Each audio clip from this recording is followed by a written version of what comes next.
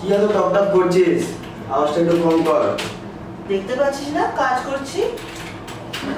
এত কাজ করে কি হবে? মানে?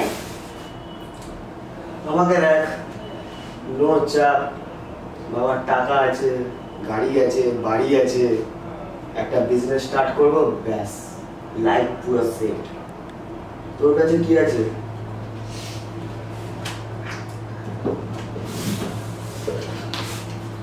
আমার কাছে জিডব্লিউডি পোর্টফোলিও আছে Oka diamond